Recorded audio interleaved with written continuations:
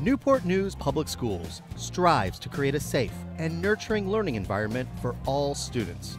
With several bullying prevention programs already in place, our staff and administrators make safety a top priority every day. And many schools raised awareness during the month of October, which is recognized as National Bullying Prevention Month.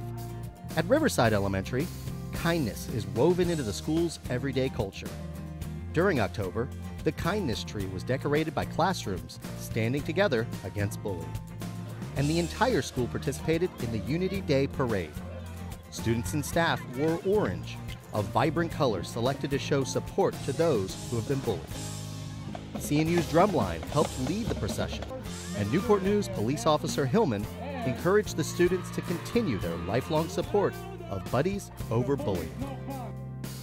Crittenden Middle School invited Parents Against Bullying Virginia to talk with sixth graders about creating a no bully zone at their school by being kind to one another. Parents Against Bullying encouraged students to think before posting messages on social media and to be proud about what makes them unique. To celebrate this diversity, students participated in a fun dance party to help students be proud of who they are no matter what others think. And all students at Washington Middle School were invited to a student driven bully prevention rally.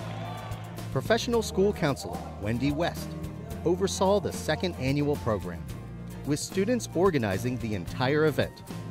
Through student speakers and a drama club skit, students at Washington were reminded to not be a bystander by communicating with teachers, to recognize the difference between bullying and a conflict, and to remember that every adult is there to help.